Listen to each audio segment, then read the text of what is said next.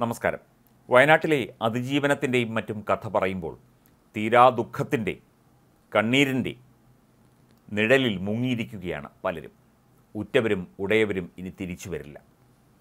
മാതാപിതാക്കളെ നഷ്ടപ്പെട്ട കുട്ടികൾ മക്കളെ നഷ്ടപ്പെട്ട മാതാപിതാക്കൾ. അങ്ങനെ വേദനയുടെ മറ്റൊരു ദുരന്തമുഖം കൂടി നമ്മൾ കാണുകയാണ് വയനാടിന്റെ വിവിധ പ്രദേശങ്ങളിൽ നിന്ന്.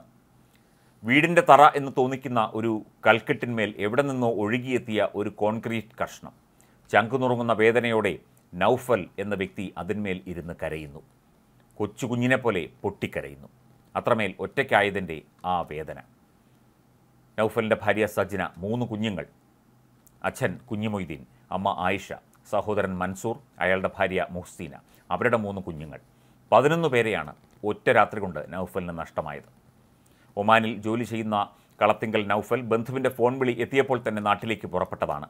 മേപ്പാടി ദുരിതാശ്വാസ ക്യാമ്പിൽ മൂന്ന് ദിവസത്തെ കാത്തിരിപ്പിന് ശേഷം ഇന്നലെയാണ് വീടിരുന്ന സ്ഥലത്ത് എത്തിയത്.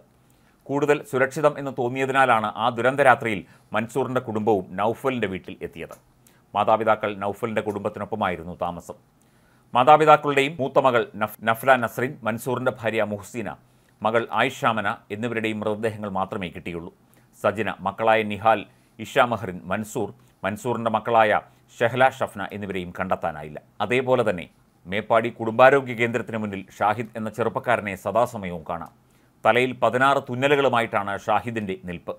ചൂരൽമലയിലും മുണ്ടക്കയിലുമുള്ള തന്റെ സുഹൃത്തുക്കളെ തേടിയാണ് ഷാഹിദ് മേപ്പാടി കുടുംബാരോഗ്യ കേന്ദ്രത്തിൽ എത്തിയത്. ഒന്നര മാസം മുൻപ് മുണ്ടക്കൈ പുഴയിൽ വീണാണ് ഷാഹിദിന്റെ തല പൊട്ടിയത്. അതേ പുഴ ഷാഹിദിന്റെ ഏഴ് സുഹൃത്തുക്കളെയാണ് ഉരുൾ രാവിൽ കാണാമറയത്തേക്ക് എടുത്തുകൊണ്ടുപോയത്. അന്ന് വൈകിട്ട് മേപ്പാടി കുടുംബാരോഗ്യ കേന്ദ്രത്തിന്റെ മോർച്ചറിയിൽ വോളണ്ടിയറായി തുടങ്ങിയ സേവനം ഷാഹിദ് ഇന്നും തുടരുന്നു. ഓരോ ആംബുലൻസും മൃതദേഹങ്ങളുമായി എത്തുമ്പോൾ ഷാഹിദിന്റെ നെഞ്ചിൽ തീയാണ്. അഴുകിത്തുടങ്ങിയ മൃതശരീരങ്ങളുമായി ഓരോ ആംബുലൻസ് മോർച്ചറിക്ക് മുന്നിൽ എത്തുമ്പോഴും ഷാഹിദ് ഓടിയെത്തും. ഇരുകയും നീട്ടി ഏറ്റുവാങ്ങും. കൂട്ടുകാരുടെ മുഖമാണോ എന്ന് പരതും. അകത്തേക്ക് കൊണ്ടുപോകും. ചൂരൽമല മേപ്പാടി പ്രദേശങ്ങളിലെ സ്വകാര്യ ടൂർ പരിപാടികളിലെ ഓഫ് റോഡ് ഡ്രൈവറാണ് ഷാഹിദ്. സഞ്ചാരികളെയും കൊണ്ട് നടത്തിയ അത്തരമൊരു യാത്രക്കിടയിലാണ് തെന്നി വീണ് അയാൾക്ക് പരിക്കേറ്റത്. മേപ്പാടി സ്വദേശിയായ ഷാഹിദിന്റെ ചൂരൽമലയിലുള്ള തറവാട് വീട് ഉരുൾപൊട്ടലിൽ തകർന്നു. അവിടെ ആരും താമസിക്കാതിരുന്നത് രക്ഷയായി. എന്നാൽ ഓഫ് റോഡ് യാത്രയിൽ തന്റെ വലം കൈയായിരുന്ന ഡ്രൈവർ മഹേഷിനെ കാണാതായി. ചികിത്സയിൽ തുടരുന്നതിനാൽ ഡോക്ടറോട് ചോദിച്ചിട്ടാണ് മോർച്ചറിയിലേക്ക് വന്നത്.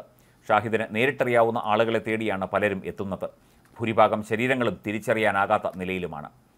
അവരെയും കിട്ടും എനിക്കുറപ്പാണ് എന്ന് കണ്ണീരോടെ ഷാഹിദ് പറഞ്ഞു വയ്ക്കുന്നു ഇത്തരം ദുഃഖത്തിന്റെ ദുരന്ത കാഴ്ചകളാണ് വയനാട് ആകമാനം കാണാൻ സാധിക്കുന്നത്. ഇവരെയൊക്കെ എന്തു പറഞ്ഞ് ആശ്വസിപ്പിക്കും എന്ന് ആലോചിച്ച് വീണ്ടും കണ്ണീരൊഴുക്കുകയാണ് ഇവരുടെ സുഹൃത്തുക്കളും. കാരണം അവർക്കും ഉറ്റവരെയും ഉടയവരെയും പലരെയും നഷ്ടപ്പെട്ടു. മാതാപിതാക്കളെ നഷ്ടപ്പെട്ടവർ അതുപോലെ സഹോദരങ്ങളെ നഷ്ടപ്പെട്ടവർ കുടുംബം ഒന്നടങ്കം ഒലിച്ചുപോയവർ. ദുരന്തത്തിന്റെ കണ്ണീർ കാഴ്ച മാത്രമാണ് വയനാടിൽ നിന്ന് നാം കണ്ടുകൊണ്ടിരിക്കുന്നത്. ഈ ദുഃഖത്തിന് അറുതി എന്ന് വരും.